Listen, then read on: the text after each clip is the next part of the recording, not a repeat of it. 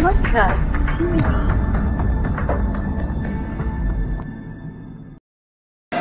asalaamu calaykum waraxmatullaahi wabarakaatu ku soo dhowaada horumarka t v caawa waxaan u dabaaldegaynaa munaasabadda kowda luulyo iyadoo soomaalida ee magaalada toronto ay ka soo qayb galeen halkan oo lagu xusayo ee dabcan kii juun markii gobollada waqooyi ay qaateen ee xorriyadda iyo kowdii julaay oo ah markii ay ee koonfurta ay ka xoroobeen gumaysigii talyaani islamarkaana labadii gobol ay midoobeen. Dad kala duwan ayaa ka soo qaybgalay oo ka socda ee dowladda federaalka ee soomaaliya xildhibaano dabcan ka socda.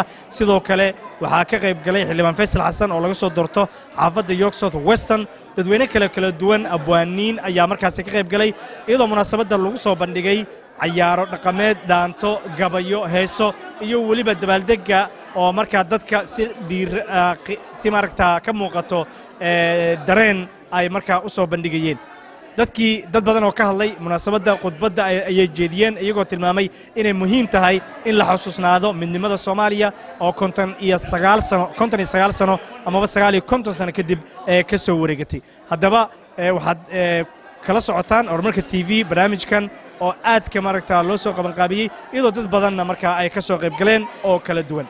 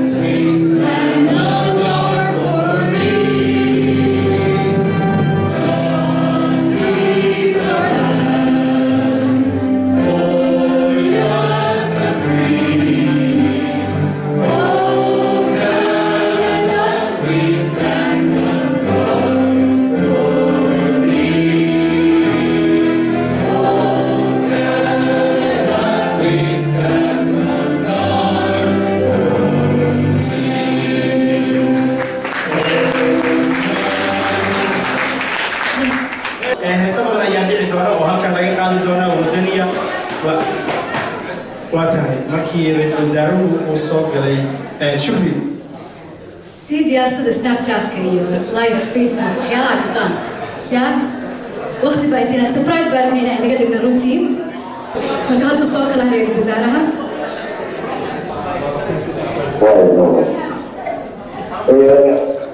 marka hore waxaan salaam kaamil ugu soo dirayaa magaalada Soomaaliyeed ee dalka Soomaaliya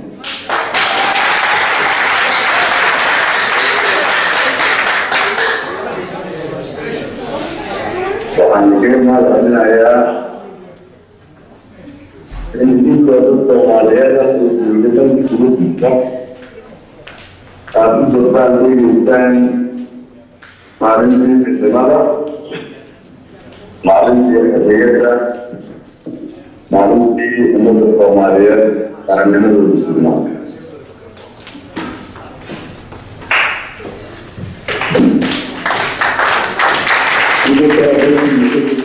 haddana waxaa muuqata inaad dalkiisa joogtaan mar walba soomaaliyeed ka taageertiin inkastoo konton iyo sagaalkan ka hor dalkeena uu qaatay xadnimada aad maanta u dabaaldegaysaan weli ummadda soomaaliyeed waxaan u taagan caqabado waaweyn oo lamida kii dadkii dawliyey kushir maanta aad u dabaaldegaysaan ay soo mareen sidaas daraaddeed ayay qof walba oo soomaaliyeed oo awood leh oo adii ugu horeysa ay waajib ku tahay inaan awoodno in dhaxalkii nabadkaga tegay innagoo isku duuban oo midaysan aan ilaalin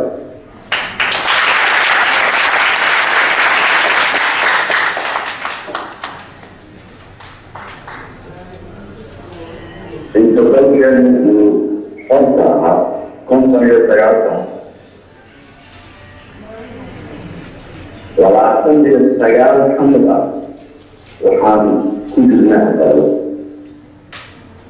macnaheedu waxay tahay nus ka mid ah lixdankii waxaana la soo dhibaatooyin cusub oo aan rabno hadda inaan ka wada baxno haddii ilaa yidhaahdo meel fiicanna way maraysaa ummadda soomaaliyeed waxaan ugu dhiirigelinayaa marka inaanan wadankiini wuxuu sameynayaa horumar la qaadan karo dan admin dan dhaqaale dan siyaasadeed soomaaliyadii aad ku hamireysaan waxay bilaawday inay dib u soo noqoto idinkana waxaa laydinka rabaa inaad garab taagnaataan dowladda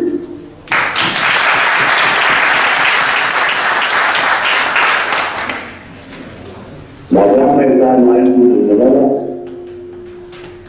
waa inaan kulligeen midownaa waa يقيل وأنا بعضنا دعونا وأنا نحشنا وأنا نسوق غيرنا وأنا نسوق غيرنا وأنا نسوق غيرنا ولا غير الحمد لله يا حمدلي وحمدلي وحمدلي وبارك في كل شيء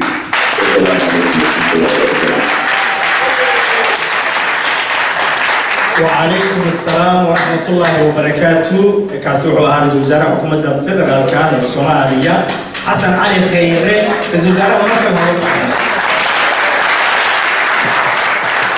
haddii dad isku yimaadaan qofka dowladda ka tirsan haddii agaasime ama agaasime waaxeed uu meeshaas ka joogo dowladda qofkii dowladdii matalaya waa qofka marka xildhibaan golo sharci waad dareemi kartaan xasaanadii culaysku xambaarsan yahay xildhibaanada iyadaa dowladda nagala joogta waan soo dhaweynayaa ku soo dhawo khudbadda aan ugu talagashay dadka halka الحلوين مع ناس في السجن كسبوا مجمع السلطات كسبوا واحد منهم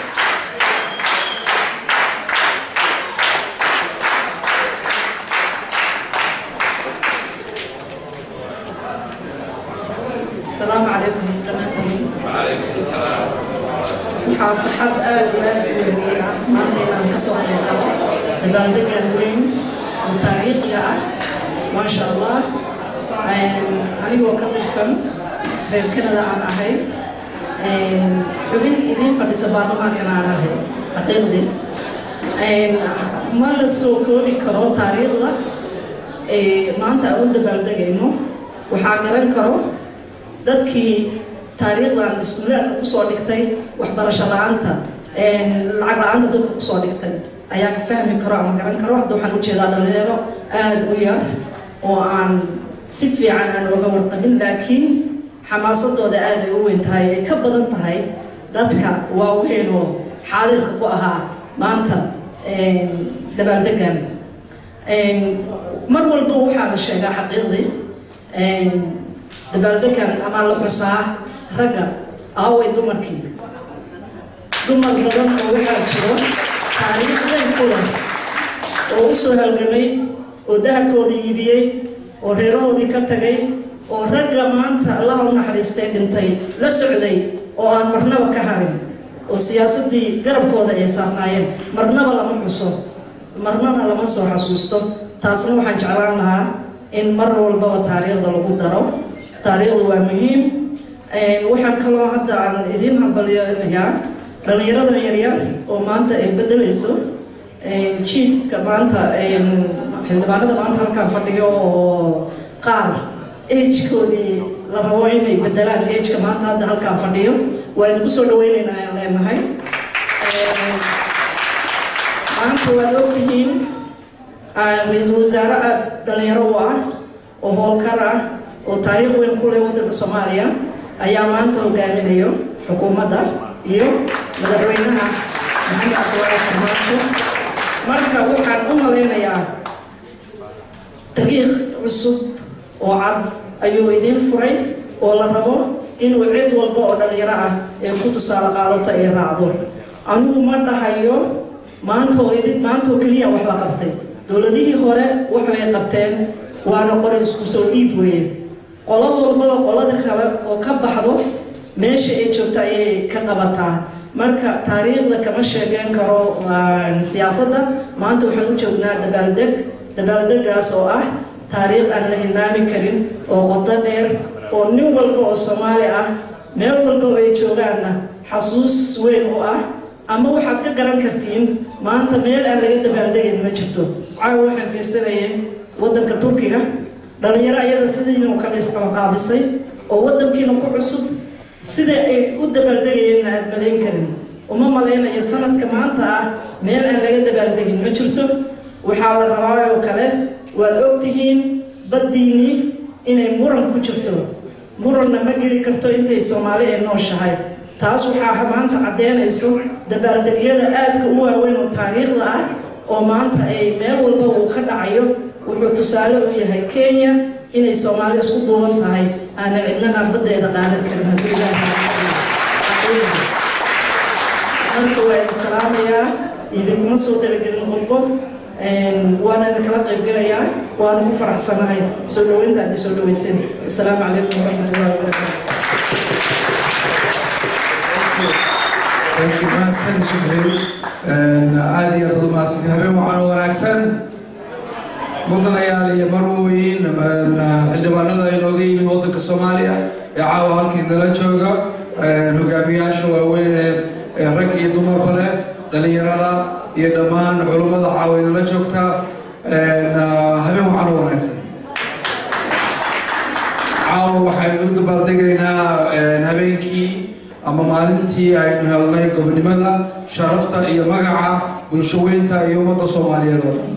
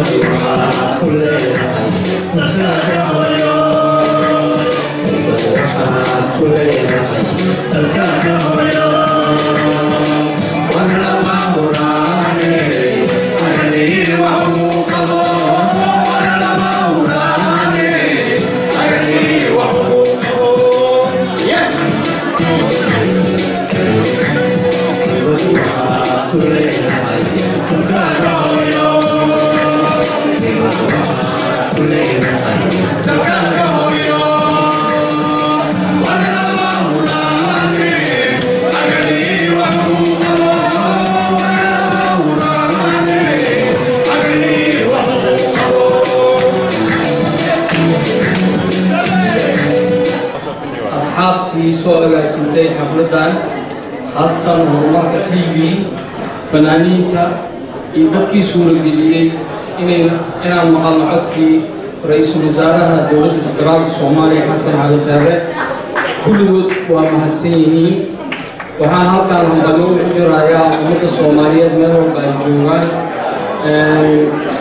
Waxaan leeyahay soomaaliya ha noolaato. Waxaa kaloo hambalyo gaar ah u dirayaa madaxweynaha federaalka soomaaliya mudan maxamed cabdulaahi farmaajo iyo ra'iisul wasaaraha xasan cali kheyre. Iyagana waxaan leeyahay soomaaliya ha noolaato assalaamu calaykum. Aniga waxaan ku faraxsanahay horta sanadkan inaa aad loo dabaaldegay ay soomaalinimada soo noqonayso. Lix iyo labaatankii juun kowda juulaay maasha allah tabaaraka allah taas waxay sheegaysaa inaan u bislaanay inaan waddankeena soo ceshano anigu waxaa idinku waalin lahaa waddankeena annaga iskale dadlaayayna qabanin isku duubnida haddaan ka bilaabno dibadda reer galbeedku aqli badan yihiin. Marka isku duuban waxay leeyihiin soomaaliya waa soo socotaa in laga fogaado.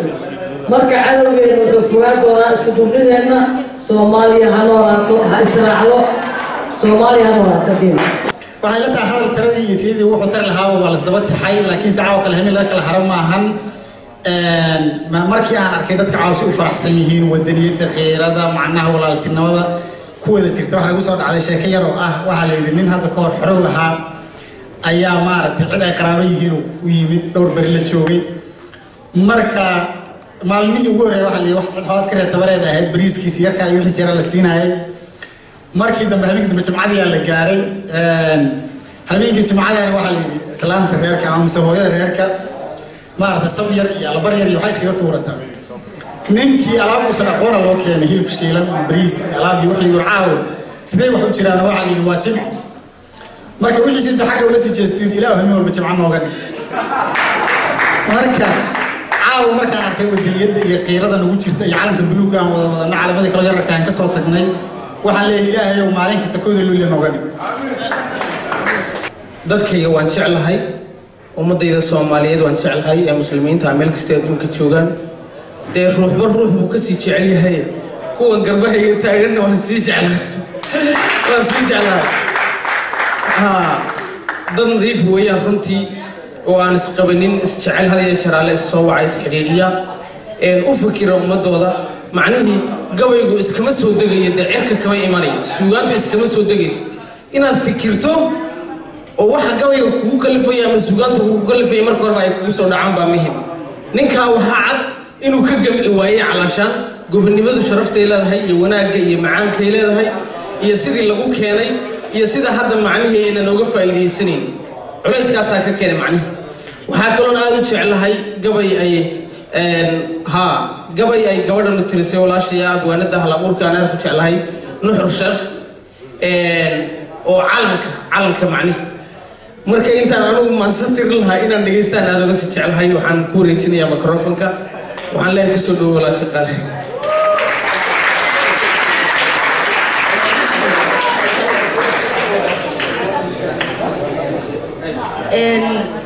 asalaamu calaykum waraxmatullahi wabarakaatu waan salaamayaa dhammaan dhallinyarada martabad walbaba iyo masab walba ay ku fadhiyaan oo ku salaamayaa waxaan u hambalyeynayaa dhallinyarta horumarka t v. Waxaana naga cod waxaana naga codsanayaa horumarka t v waa dhallinyaro is abaabushay inaad garab gashaan ood la shaqaysiin. At least haddiina la shaqaynin xataa liketa iyo facebook intaad sii sheer garaysiin ummadaha kaleete ummadaha kaleete si adduunka waxaan rabaa inaa idin weydiiyo hal su'aal. Horta caawe waxaan joognaa kowda luulio xurrim xurnimo baan dabaaldegaynaa imisaa maraynaa? Oo soo gobolgalaysaan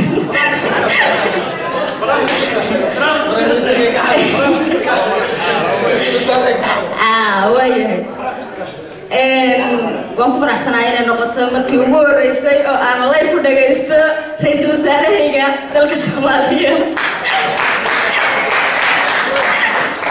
Calayahow ha ciishoon. Calooliyowna ha isgelin.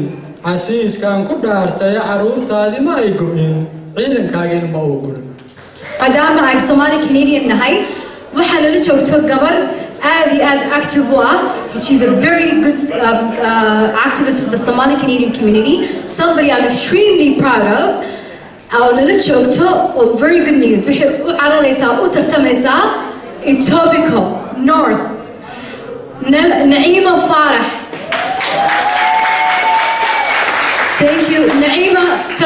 hore oo provincial government-ka ka qayb gashay municipal-ka haddana waxay u tartamaysaa xisbiga NDP-ga ah.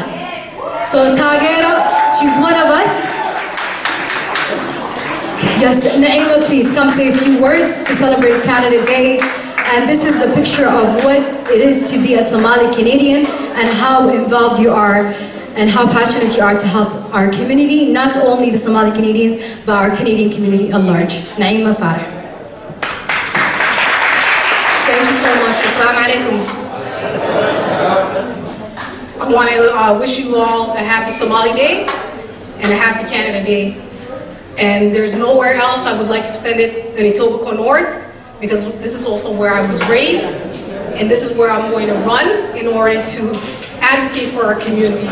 I decided to run for the New Democratic Party because of its working class principles. There's a lot of issues our communities is facing, from high incarceration rates amongst our youth, the denial of economic and job opportunities and educational opportunities. Unfortunately, there's been a lot of slashing towards education. And as we know that without investment in it, that is a denial of our future. So I want to thank you all. And on July 13th will be my nomination. And once again, thank you to our elders who've actually made this day possible. Some of you who fought for our independence are actually here with us. And to the people of Somalia, I hope for long lasting peace. Inshallah, khair nasib. asalaamu calaykum jaaliyadda reer toronto waxaa farxaddii ah inaan caawa halkaan isugu nimid oon u dabaaldegayno sanad guuradii konton iyo sagaalaad ee ka soo wareegatay xorriyaddii een, waddankeennii soomaaliya. Annagoo maaragta jilbaysan oo maaragta qiiradina hayso inaan halkaan caawa isugu nimaadno oon isu soo xasuusinno xorriyaddeenii iyo inaan ka gudubno xaaladahan taagannahay waxaan filayaa waxaan filayaa nolosha taariikhdii aan hore u qaadanay dowladnimada inaan wadajir uga gudbi karno danaha shisheeye dantay naga leeyihiin tafaraaruq inaan ku jabeenno wadajirna aan ku guulaysanayno. Marka waxaan filayaa soomaaliyey meel kastood joogtaan dibad iyo gudo. Waxaan idin leeyahay sanad guuro wanaagsan oo wacan oo wanaagsan. Ilaahay aan ka baryaynaa waddankeennio israaca. Taas haddaan kaga gudubbo sanad guuradii waxaan halkan uga mahad celinayaa oon maaragtaa aan fursaddan siinayaa ra'iisul wasaaraheenna xasan cali kheyre oo fursadna siiyey sama caawa inuu nala soo hadlo waaga markuu u baryey uu jaaliyaddiisa reer toronto haddaan nahay uu u tahniyadeeyey uuna nala qaybsaday farxadda aan ku jirno. Ilaahaa mahadda leh waa uu ku mahadsan yahay jiroo joog waxaanse fariin u dirayaa inuu dib maaragta inuu mar un toronto yimaado uu arko jaaliyadda toronto iyo saan u aayidsannahay dowladnimadiisa iyo saan u aaminsannahay asaga dartiis. Waxaan filayaa halkaas kaaga soo dirayaa ilaahay hanoo kasto inaad mar noogu timaaddo wad- waddanka kanada. Waa jaaliyaddaadii oo ku jecel isku duubni waa maaragta horumar lagu gaaraa insha allahu biidni alkariim adoo noo imaan doona haddii ilaahay raalli ka dhigo. Halkaasaan uga baxayaa hadalkayga. Wabilaahi towfiiq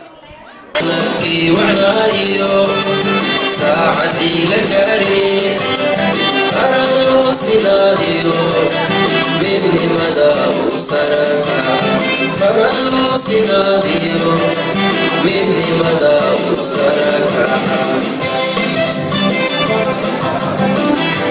السلام عليكم ورحمة الله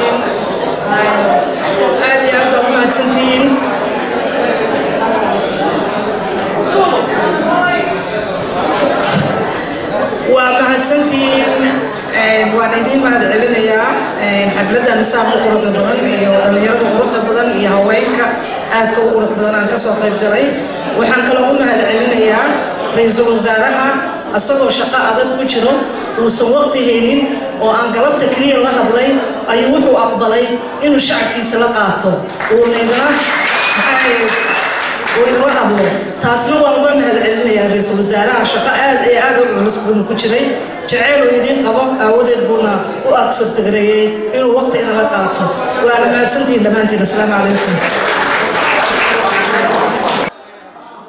Waa tahay waxaad la socoteen horumarka t v oo aad ka daawanayseen khudbadaha dadka ay jeedinayeen. Qaar ka mid a iyo weliba dadkii ka soo qaybgalay iyadoo munaasabadda sida hore aan ku sheegay ee heeso laga qaaday dhaanto gabayo iyo weliba waxyaabo kale oo muhiima oo dhiiri gelinayay islamarkaana qiiro abuurayey oo ku saabsan dalka soomaaliya. Waxaana dadka reer kanada ku nool ee soomaalida ay nasiib u yeesheen in kooda julaay ay u dabaaldegaan ee xuska ee xurriyadda soomaaliya oo sagaal iyo konton sano ka soo wareegatay iyo tan kanada innagoo isku duuban cabdikariim shukri anigoo xuseen nuur xajiya iyo dhammaan tiimka horumarka horumarka t v waxaan idin leenahay sidaasi nabadgelyo